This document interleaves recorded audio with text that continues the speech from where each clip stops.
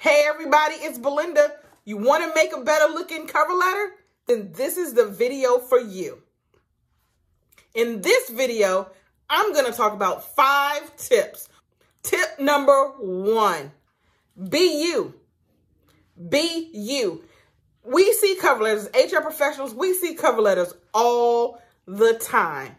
You know, the same old thing all the time to whom, whom it may concern or dear HR manager. Be you.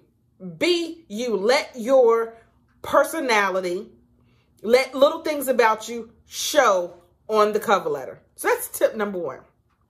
Tip number two, be 100% professional.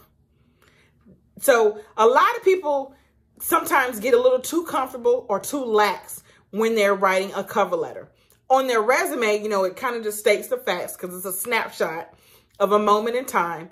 But you're, and people, when they do their resume, then sometimes when they add a cover letter, it's not as professional as it needs to be. You want to make sure that your resume, resume you want to make sure that your resume is professional, but you also want to make sure that your cover letter is professional.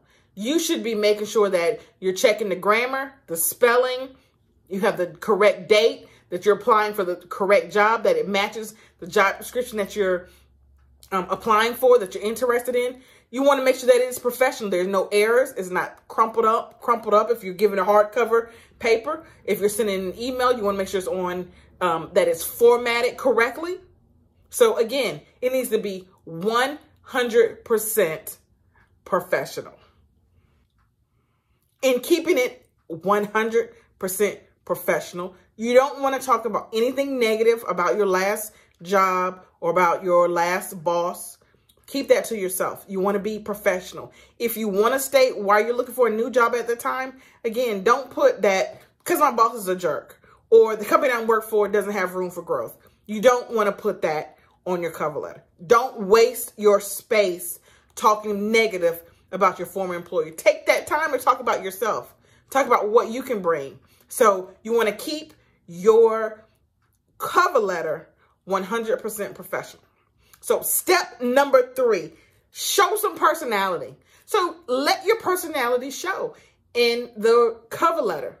Again, be you, keep it 100% professional, but show some personality. So an example of showing some personality, you can talk about um, something different about you. That's that's that's you. Like I like to make sure that all my spreadsheets are labeled the exact same way so that they're easy to easy to find. That's something unique. That's some that's some that's your personality showing through, that you're organized and it's professional. Sometimes on a cover letter, it's hard to do all these things and be all these things. It's hard to be you.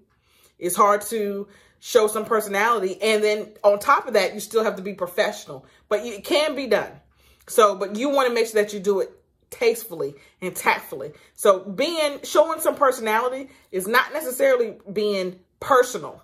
So again, notice how I use the example of when I do my spreadsheets, I label them in a certain way. That way they are able to um, be easily found when I'm going through the system. And you can list how you label it. I mean, if it relates to the position that you're applying for, but it shows that, you know, that's my personality. I'm organized. I'm organized to the letter, to the T, so organized that I name all of my spreadsheets a certain way. It's being me. It's being 100% professional and it's showing some of my personality. So that's tip number three. So for tip number four, you want to be reasonable. That's right.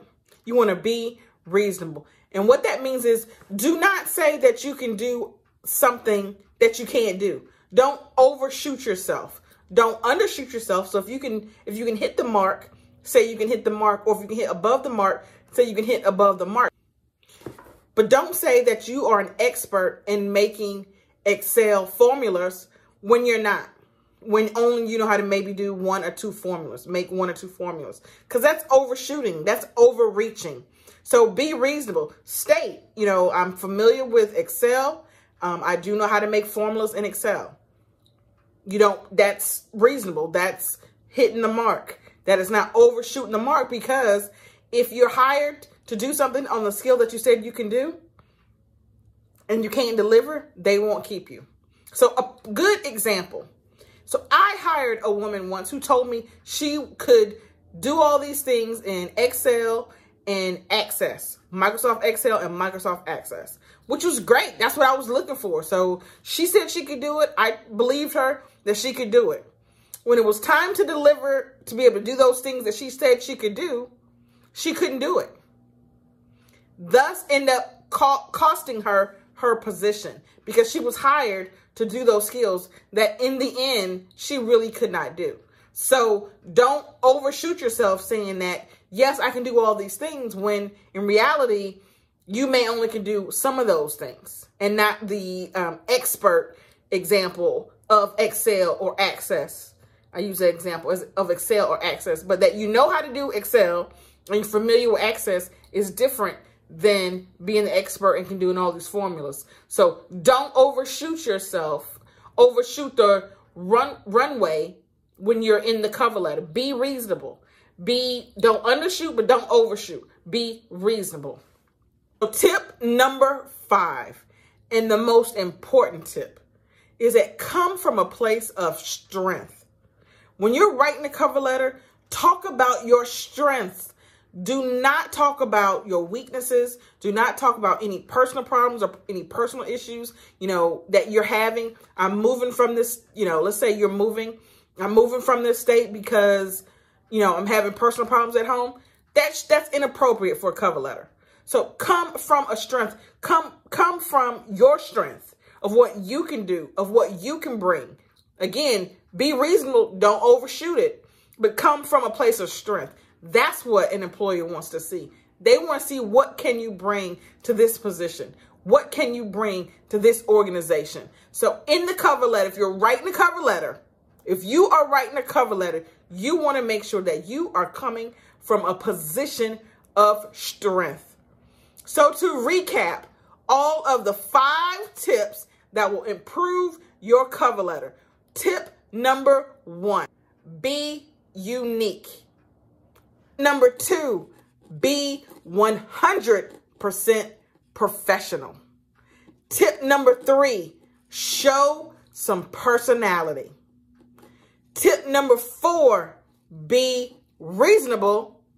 And tip number five, come from a place of strength. Good luck on writing your cover letters. You can do it. I'll see you on the next video.